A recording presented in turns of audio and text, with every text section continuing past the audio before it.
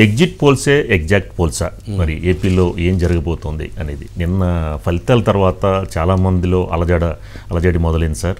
కానీ ఏంటంటే ఏంటి మనం ఆ పార్టీకి వేస్తే ఈ పార్టీకి సర్వేలు యొక్క వీటిని నమ్మచ్చా నమ్మకూడదా అనే వేలో కూడా నిన్న రాత్రి నుంచి చాలా మందిలో అలజడి మొదలైందండి.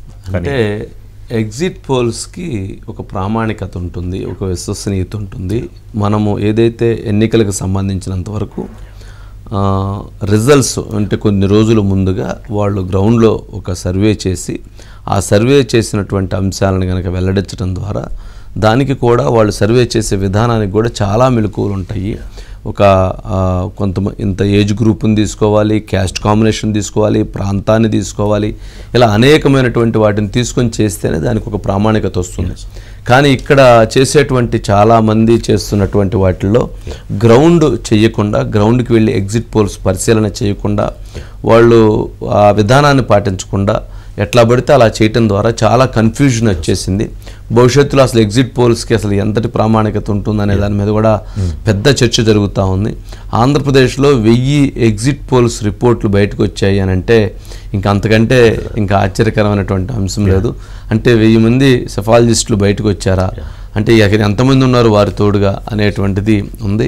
ఎవరైతే కష్టపడి చేశారో ఎవరైతే నిజాయితీగా చేశారో ఎవరైతే నిబద్ధతతో చేశారో ఎవరైతే నిజంగా డబ్బులు ఖర్చు పెట్టుకొని చేశారో వాళ్ళందరూ చేసినటువంటి వాళ్ళ వాళ్ళందరికీ కూడా ఒక బాధ కలుగుతూ ఉంటుంది.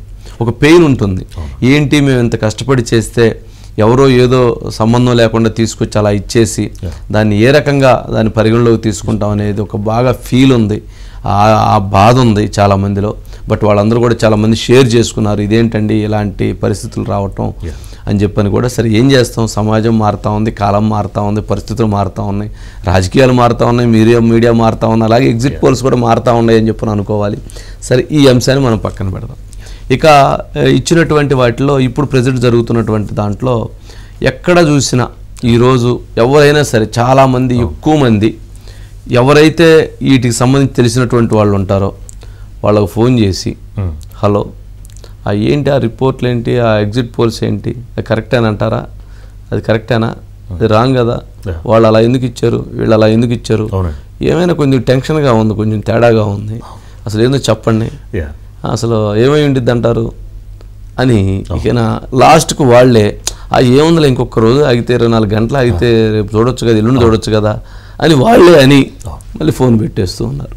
అంటే అంటే ఇది మనదని కాదు. ఎవరికైనా చాలామంది. ఆ టెన్షన్లో అసలు ఏం జరుగుతుంది ఏంటి పరిస్థితి? అభ్యర్థులకు ఒక టెన్షన్ డబ్బులు పెట్టారు కష్టపడ్డారు పోటీ చేశారు గెలవటం అనేటువంటిది వాళ్ళకు ఒక టెన్షన్. ఎవరైతే ఆ పక్కన తిరిగి కష్టపడినటువంటి వాళ్ళు వాళ్ళకు ఒక టెన్షన్. పనిచేసినటువంటి వాళ్ళకు ఒక టెన్షన్. మరి ఇంత పార్టీల నేతలకు ఒక టెన్షన్. మరి ఇంతమంది టెన్షన్ పడుతూ ఉన్నటువంటి పరిస్థితి ఉంది. మరి ఎగ్జిట్ పోల్స్ సంబంధించినటువంటి దాంట్లో గతంలో చాలా సందర్భాల్లో కూడా చాలా క్లారిటీగా వచ్చింది. కానీ ఈసారి ఆంధ్రప్రదేశ్లో ఆ టెన్షన్ పెరగడానికి కొన్ని కారణాలు ఉన్నాయి. అందులో మొత్తంగా ఒక సరే నలభై ఎగ్జిట్ పోల్స్ ఇచ్చే ఇవ్వటం జరిగింది. ఆ నలభైలో నలభైలో ముప్పై ఐదు exit polls thirty five. Thirty five exit polls TDP Janasena Bharatiya Janata party కూటమి అధికారంలోకి వస్తుందని ఇచ్చారు. ఒక ఐదు ఎగ్జిట్ పోల్స్ మాత్రం వైఎస్ఆర్సీపీ పార్టీ అధికారంలోకి వచ్చేటువంటి అవకాశం ఉందని ఇవ్వటం జరిగింది.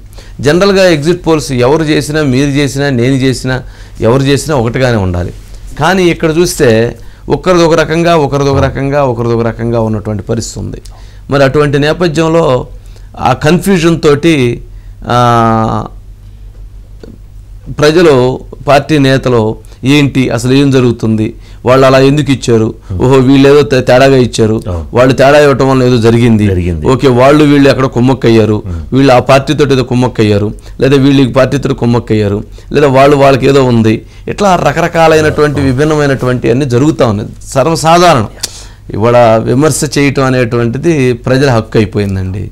సరే సద్వి అది ఆ విమర్శని కొంచెం సభ్యతగా చేస్తే అది బాగుంటుంది. అసభ్యంగా చేస్తే అది ఇబ్బందికరంగా ఉంటుంది.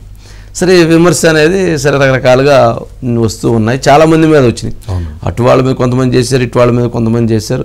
ప్రత్యేకంగా ఆరా మస్తాన్ మీద అయితే బాగా టార్గెట్గా జరిగింది. ఆరా మస్తాన్ని చాలా అంటే విమర్శలు అంటే గతంలో ఆయన వైసీపీకి యాక్సిస్లో ఉన్నాడని ఇవన్నీ పెట్టి చాలా జరుగుతా ఉన్నాయి. బట్ నేను మనం నేను అడిగాం ఆయన్ని. "ఆ, లేదండి నేను కరెక్ట్గా చేశాననే అభిప్రాయాన్ని ఆయన వ్యక్తం చేశాడు. సరే ఇది ఒక వైపు. ఒకవైపు ఆరామస్తా అంది ఒకవైపు జరుగుతా ఉంటే ఇంకొక వైపు కేకే సర్వే. వీళ్ళిద్దరూ ఇచ్చినటువంటి దాంట్లో బాగా బాగా జరుగుతా ఉంది. కేకే వన్ సిక్స్టీ వన్ ఇచ్చి ఫోర్టీన్ వైసీపీకి ఇచ్చేట్టు కూటమికి. అంటే అసలు వన్ సైడ్ విక్టరీ అనమాట అంటే అప్పుడు ఇది కూడా ఉండేటువంటి పరిస్థితి. వైసీపీ లేనట్లే అనమాట అలాగే ఇటువైపు ఇరవై ఐదు ఎంపీ సీట్లు కూటమికే ఇచ్చేసారు ఇతను చూస్తేనేమన్నా కొంత ఎడ్జి ఒక విధంగా ఇచ్చి నువ్వు వన్ నాట్ ఫోర్ వరకు వచ్చేటువంటి అవకాశం ఉంది. అందుకంటే పెరిగే అవకాశం కూడా ఉందని కూడా మాట్లాడాడు. బట్ ఎవరు చేసింది కరెక్ట్? అనేది రేపు తేలిపోతుంది. అయితే ఇక్కడ మనం ఒకటి అంశాన్ని గమనించాల్సింది ఏంటంటే అందరికీ ఇక్కడ మీడియా ఛానల్ వాచ్ చేసే వాళ్ళందరికీ కూడా ఒక అవగాహన ఉంటుంది ఒక అంశం గురించి. టైమ్స్ నో వాళ్ళు ఒక నాలుగు నెలల క్రితం మూడు నెలల క్రితం ఒక సర్వే చేశారు. వాళ్ళు దాంట్లో ఇరవై నాలుగు ఎంపీ స్థానాలు వైఎస్ఆర్సీపీ పార్టీకి వస్తాయని ఇచ్చారు. టైమ్స్ నో వాళ్ళు. ఓకే. అంతకుముందు చేసిన దాంట్లో ఇరవై ఐదుకి ఇరవై ఐదు వస్తాయని ఇచ్చారు. అంటే ఒక ఆరు నెలల క్రితం ఇరవై ఐదుకి ఇరవై ఐదు అన్నారు. ఒక మూడు నెలల క్రితం ఇచ్చిన దాంట్లో మాత్రం ఇరవై నాలుగు ఎంపీ స్థానాలు వైఎస్ఆర్సీపీ పార్టీకి వచ్చే అవకాశం ఉందన్నారు. కానీ నిన్న ఇచ్చినటువంటి దాంట్లో మాత్రం పద్నాలుగు స్థానాలు మాత్రమే వైఎస్ఆర్సీపీ పార్టీకి వస్తాయి. పదకొండు స్థానాలు టీడీపీకి వస్తాయని ఇచ్చారు. అంటే ఒక మూడు నెలల వ్యవధిలోనే పది స్థానాలు పడిపోయినట్టుగా టైమ్స్ నౌ వాళ్ళు ఇచ్చారు. టైమ్స్ నౌకి వైఎస్ఆర్సీపీ పార్టీకి ఒక అనుబంధం ఉంది అనేది ఒక బయట బహిరంగ మార్కెట్లో ఒక చర్చ ఉంది. సరే అది ఏదన్నా కానీ దానికి సంబంధించి ఏదో ఒక కొలాబరేషన్ ఉందంటారు ఏదో నడుస్తూ ఉండేది కానీ వారు అన్ని సీట్లు తగ్గించి ఇవ్వటం అనేది టైమ్స్ నవ్ ఇచ్చిన దాంట్లో ఒక ఆశ్చర్యకరమైన అంశం. టైమ్స్ నవ్ ఒక్కటి మాత్రమే ప్రధానమైనటువంటి వాటిలో జాతీయ. ఛానల్స్లో. టైమ్స్ నవ్ ఒక్కటే బలంగా వైఎస్ఆర్సీపీ పార్టీ అధికారంలోకి వస్తుందని ఇచ్చినటువంటి వాటిలో టైమ్స్ నవ్ ఒక్కటే బలంగా ఉంది. ఇక్కడ ఇచ్చినటువంటి వాటిల్లో ఆరామస్థాన్ బలంగా ఉన్నారు. సరే మిగిలినటువంటి మెజారిటీ వాళ్ళు చేసినటువంటి అన్నీ కూడా పూర్తిగా క్లియర్గా కూటమి వైపు చూపించారు. సరే దీని కొన్ని కొన్ని ఇంకొంతమంది కూడా చూపించారు బట్ వీళ్ళు చెప్పినటువంటి దీని మీద ఎక్కువ చర్చ జరిగింది. ఈ- ఈ ఇది ఇదంతా ఒకవైపు జరుగుతూ ఉంది. ఇంకొక ఎపిసోడ్ ఏం జరిగిందంటే నిన్న సాయంత్రం నుంచి బెట్టింగ్స్ సైకిల్ మారింది. మారిపోయింది సార్. సైకిల్ ఎట్లా మారిందంటే నిన్నటి వరకు రూపాయికి రూపాయిన్నరని బెట్టింగ్ పెట్టేవాళ్ళు. ఇప్పుడు కొంచెం తగ్గిందట. అంటే రూపాయి రూపాయి పది పైసలు. రూపాయికి రూపాయి పావలాకి బెట్టింగ్లు పెడుతున్నారట. ఎవరు వైఎస్ఆర్సీ వైసీపీ వాళ్ళు. అంటే ఆరామస్థాన్ ఇచ్చింది కావచ్చు టైమ్స్ ఇచ్చింది కాబట్టి మిగిలినటువంటి ఇచ్చిన కాబట్టి ఎస్ ఇచ్చే అవకాశం ఉంది గెలిచే అవకాశం ఉందనే ఉద్దేశంతో వాళ్ళు కూడా కొంత అడుగులు ముందుకు వేసి బెట్టింగ్ ముందుకు వచ్చారు. వీళ్ళు కూడా ఎవరైతే టీడీపీ వాళ్ళు కూడా కొంచెం ఆలోచించి ముందుకు వెళ్తూ ఉన్నారు. సరే ఏదన్నా కానీ ఎవరైతే బెట్టింగ్స్ పెట్టుకున్నాము ఎప్పటివరకు బెట్టింగ్ ఎవరు రాలేదు ఇదేంటి అని చెప్పి ఎదురు చూసేటువంటి వాళ్ళందరికీ ఎంతో కొంత. దొరుకుతా ఉంది. ఏంటి? ఆ పందాలు. వాళ్ళకి ఆ పందెం పెట్టకపోతే వాళ్ళకి నిద్ర పట్టదు.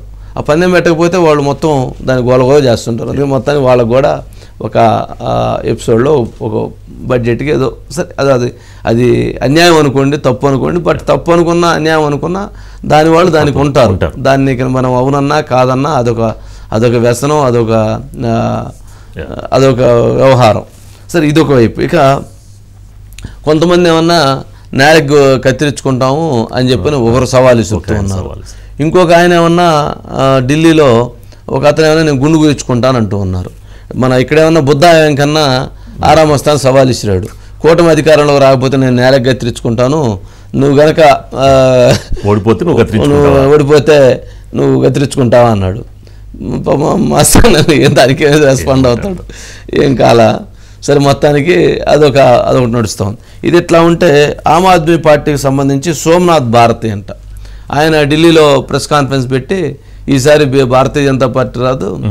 భారతీయ జనతా పార్టీ కనుక మోడీ కనుక ప్రధాని అయ్యే పని అయితే నేను గుండు గీయించుకుంటాను అన్నాడు. ఎందుకు గుండు గీసి తిరుపతి వస్తే చక్కగా మంచిగా పుణ్యం కూడా వచ్చింది. వస్తుంది. ఆ పుణ్యం కూడా వచ్చేది. శుభ్రంగా చాలా వాళ్ళు బాగా ఎక్స్పీరియన్స్ ఉండి చాలా చక్కగా చేస్తారు. అడుగు చేయించుకుంటే పోయింది. పుణ్యం కూడా వచ్చింది. సరే ఏదన్నా కానీ మొత్తానికి ఈ ఇప్పుడు ఈ నడుస్తున్నాయి. ఆ బెట్టింగ్లు ఒక వ్యవహారం అయితే నేల గతిరించుకోవడం ఒకటి ఇది ఒకటి ఎట్లాంటి ఇవన్నీ ఇంకోటి నడుస్తూ ఉన్నాయి. సరే ఎవరి స్థాయిలో వాళ్ళు ఈ ఈ మొత్తం ఎపిసోడ్లో ఈ రా ఈ ఎగ్జిట్ పోల్స్ తర్వాత ఎవరికి కావాల్సిన విధంగా వాళ్ళు ఎక్సర్సైజ్ చేస్తున్నారు ఎవరికి కావాల్సిన వాళ్ళు ప్రయత్నాలు చేస్తున్నారు ఇవన్నీ ఒకవైపు నడుస్తున్నాయి ఆ. వంశీ గారు చిన్న డౌట్ వచ్చిందండి ఇప్పుడు రెండు వేల పద్నాలుగులో రెండు వేల పంతొమ్మిదిలో ఏదైతే ఆరామస్థాన్ ఇచ్చిన సర్వే అంటే పక్కన తెలంగాణ ఎలక్షన్స్ కానీ రెండు వేల ఇరవై మూడులో కానీ ప్రజలందరూ అప్పుడు ఓకే మస్తాన్ కరెక్ట్గా ఇచ్చాడు అని చెప్పిన తెలంగాణ ప్రజలు కానీ మిగతా రాష్ట్ర ప్రజలు కానీ మన రెండు వేల ఇరవై నాలుగుకి వచ్చేసరికల్లా ఏపీ ప్రజలు ఎందుకని ఈ విధంగా జీర్ణించుకోలేకపోతున్నారు అంటారు అంటే అంటే వీళ్ళ యొక్క ఫేస్ చేసిన ప్రాబ్లమ్స్ని బట్టి ఈ యొక్క గ్రౌండ్ లెవెల్కి వచ్చి ఇతను సర్వే చేయలేదా? అన్న అంశంలో ఏపీలో ఉన్న ప్రజలు చాలా ఆందోళన చెందుతున్నారు. మరి ఇంతకుముందు నమ్మి ఇప్పుడు ఎందుకని ఆయన విశ్వసిస్తూ విశ్వసించట్లేదంటారు? అంటే ఇక్కడ రెండు ఉంటుందండి రాజు గారు యా ఒకరికి అనుకూలంగా ఇచ్చినప్పుడు ఇంకొకరు వ్యతిరేకంగా ఉన్నప్పుడు వ్యతిరేకంగా ఇచ్చినటువంటి వాళ్ళు ఎప్పుడైనా తిడతారు. ఓకే ఇక్కడ వైఎస్ఆర్సీపీ వాళ్ళు ఆయన ఆహ్వానిస్తున్నారు. ఓకే అంతే కదా వాళ్ళకి అనుకూలంగా ఇచ్చాడని. ఓకే తెలుగుదేశం జనసేన భారతీయ జనతా పార్టీ కుటుంబాలు వాళ్ళు విమర్శిస్తున్నారు. సరే దీనికి సంబంధించి ఆరామస్థాన్ తెలుగుదేశం పార్టీని ఎమ్మెల్యే టికెట్ అడిగాడని బట్ ఆయన ఇవ్వలేదు కాబట్టి ఆయన అలా చేశాడని. లేదు వాళ్ళు అవతల వాళ్ళు ప్రెజర్ చేశారని. లేదు ఆయన ఇండివిజువల్గానే ఆయన చేసినటువంటి దాంట్లో ప్రామాణికత ఇంకా సరిగ్గా చేయలేదేమోనని. లేక మేము అనుకున్న వాటికి అక్కడ ఉన్నటువంటి వాటికి విభేదాలు ఉన్నాయి అని చెప్పని తెలుగుదేశం పార్టీ వాళ్ళు కామెంట్ చేయొచ్చు. వైఎస్ఆర్సీపీ వాళ్ళు మా మేము ఏదైతే అనుకుంటున్నామో అతను అది పర్ఫెక్ట్గా ఇచ్చాడు. ఉమెన్ ఓటు ఎక్కువగా పడింది. ఎస్సీ ఎస్టీ మైనారిటీకి సంబంధించినటువంటి బూతుల్లో ఎక్కువ పర్సంటేజ్ పోల్ అయింది. ఆ పోలింగ్ పర్సంటేజ్ అయిందంతా కూడా అది వైఎస్ఆర్సీపీకి అనుకూలంగా అయింది. ఎక్కడైతే టీడీపీ ఓటింగ్ ఉన్న అనుకున్న కాడ అక్కడ పర్సంటేజ్ తక్కువైంది. కాబట్టి దీని ప్రకారంగా చూసుకుంటే అది మాకే ఎడ్జ్ ఉండిద్దని వాళ్ళు అనుకుంటూ ఉన్నారు. సరే ఏదన్నా కానీ ఇంకొక ఇరవై నాలుగు గంటలు ఆగితే తెలిసిపోయింది. తినబోతూ రుచి? రుచి ఎందుకని ఎల్లుండి శుభ్- శుభ్రంగా మంచిగా ఎవరికి కావాల్సినట్టు వాళ్ళు భోజనం చేయొచ్చు. మరి తినబోతూ ఇప్పుడు ఊరక వాసన చూడటానికి రుచి చూడటానికి ప్రయత్నం చేస్తూ ఉన్నాం. తప్పదు.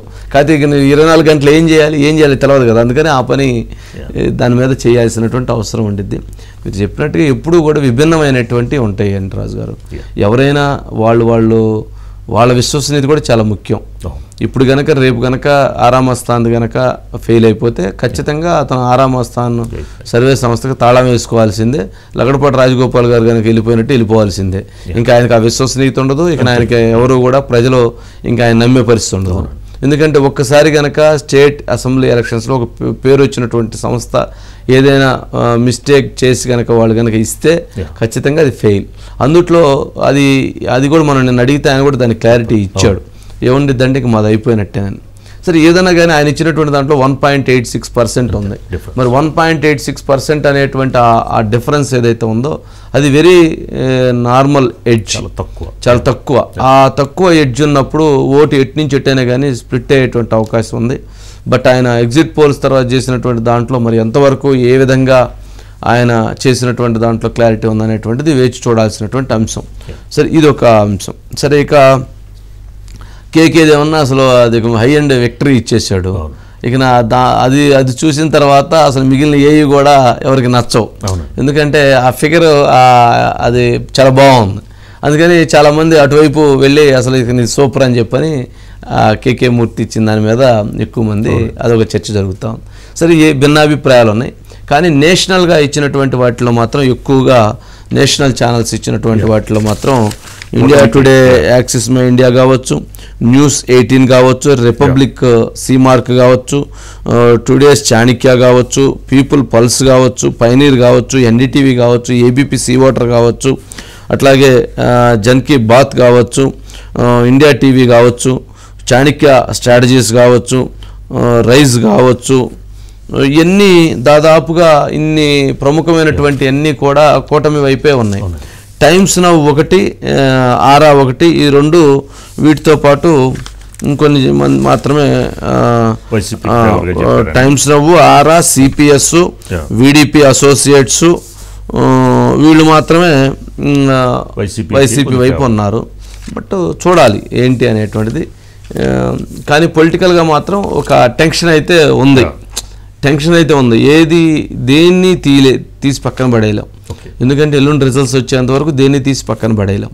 అందుకని ఎల్లుండి వరకు ఆ టెన్షన్ వాతావరణం అయితే కొనసాగుతుంది.